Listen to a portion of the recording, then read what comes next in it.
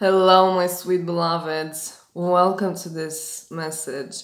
Here I decided to talk about the devil or the devils. It's not just one. Now, the fact that there are more evil entities around the world, this is known. And this is known to almost everybody. And it is stated in such notions as demons.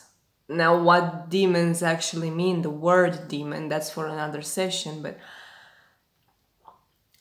the thing is that while there are more, call them demons or evil beings or evil doers or however you want to call them, while there are many of those, the human subconscious has been getting this idea of a devil, like a, an evil entity who kind of rules them somehow, like an evil entity from whom they all come or who sends them to do stuff. And it kind of is true, but thing is that there is not just one devil. And now I'll be getting into some astrological stuff. Whether you believe this or not, the planets are still going to revolve in the sky. So there are three devils. One of them outside of our solar system, and two of them in our solar system, part of our solar system. These two which are part of our solar system are Saturn, which is exactly that being whom mythologists have called Satan, and also Kronos in ancient Greece. The other devil is Pluto, the god of the underworld. Don't get me wrong, they are very good energies when you learn, when you understand them, and when you overcome the lessons which they bring, the challenges which they bring. With Saturn, there are hardships, obstacles, a lot of challenges, restrictions, limitations of life. And just by naming them like this, they don't sound that bad, but for some people they may get very bad, especially for those who have a poor placed Saturn in their horoscope, in their natal chart, or just a, a very challenging house, like a Saturn placed in a very challenging house in their horoscope. But Saturn brings maturity once you learn the lessons of Saturn, you are mature and you are no longer afraid. Saturn also rules fear. And once again, once you learn the positive manifestation of the negative, I, I know it doesn't sound, it, it doesn't make sense, sense at first but what these energies bring, what these entities, because planets are living entities, they are just souls, uh, uh, not just souls, they are souls coming just at a different level of incarnation, different than the human type of incarnation. They are souls. Now, these two energies will at first bring you stuff which may seem very negative but out of those negative things, there are many treasures to be grown because of the challenges which you face through them. The other devil is Pluto, and now Pluto is mythologically the god of the underworld, and it makes a lot of sense astrologically. Now, parentheses, mythology is just the code, the key of astrology. mythology talks about gods and goddesses, whether those gods and goddesses be actual gods and goddesses coming incarnate at a human level in a human body, or gods and goddesses still incarnate in their planetary forms, impacting the human level of existence through their astrological placements. And mythologically, Pluto is the god of the underworld. Now, it is exactly that.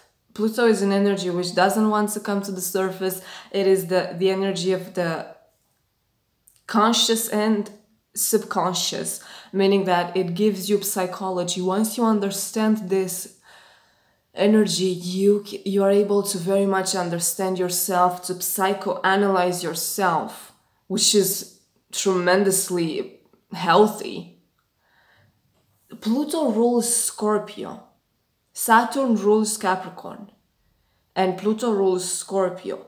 Now, those of you who know some astrology, you know that Scorpio comes with crisis, a lot of crisis. And indeed, Pluto, whenever you have a Pluto transit, Pluto will bring you crisis, emotional crisis. And if you have Taurus, for example, placed in the eighth house, which is the house of Scorpio and Pluto in the horoscope, if you have Taurus there, you may have a lot of financial crisis, um, food crisis, or if you have Pluto transiting your fourth house, which is the house of your family and your property, your home space, you will have crisis in your home space, crisis in your family. There will be a lot of predators from your own family coming to attack you and stuff like that. So it's a very challenging energy. Pluto also rules over the dark cabal, over literally demons over dark entities, evildoers, abusers, pedophiles, rapists, rapists, and stuff like that. It's it's a very savage energy. It's the energy of abuse. And it's not nice at all when you have to deal with this. But as I told you, these are energies to be overcome.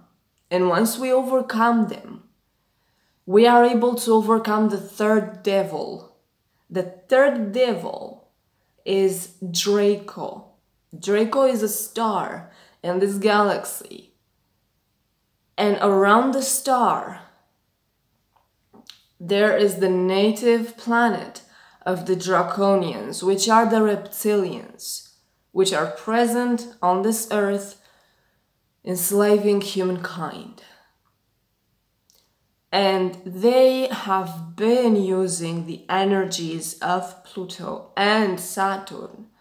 Remember how many Satanists there are in media all over the world. Actually, media is a tool of Satanists and the dark cabal and the dark elite.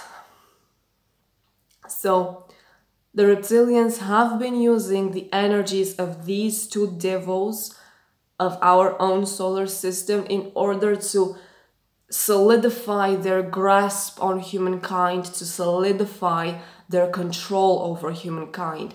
Mythologically, there are stories about Saturn by his many names, also Baal, or also another S name from the Babylonian mythology, it's still him. Stories about him wanting, wishing to enslave humanity, to rule over humanity. And he's had a contract with the Draconians, reptilians, to help one another in doing so. And this happened. You can see it.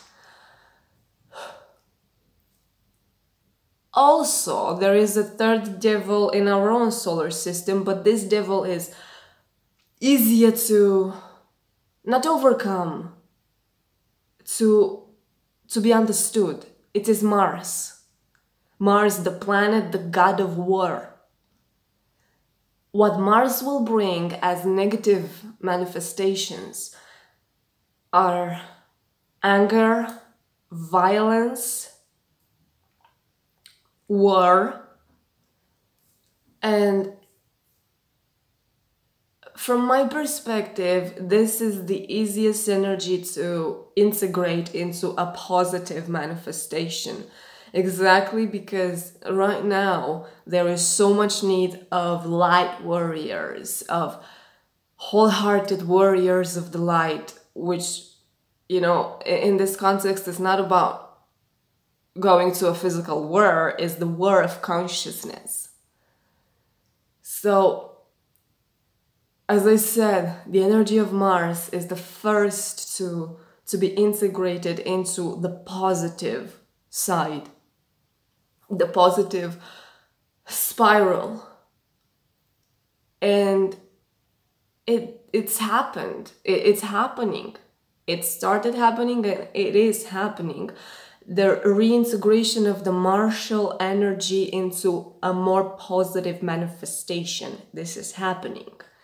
Now, what we as a collective have to do, still have to do, is to bring into positive manifestations the other two devils of the solar system, which I mentioned are Saturn and Pluto. Again, don't get me wrong, they are very good energies, all of them, all the planets. Once you understand them, this is the thing, it's the thing of understanding them understanding how to cope with these energies and how to integrate them and how to use them. They are there in your chart, in your birth chart to use them.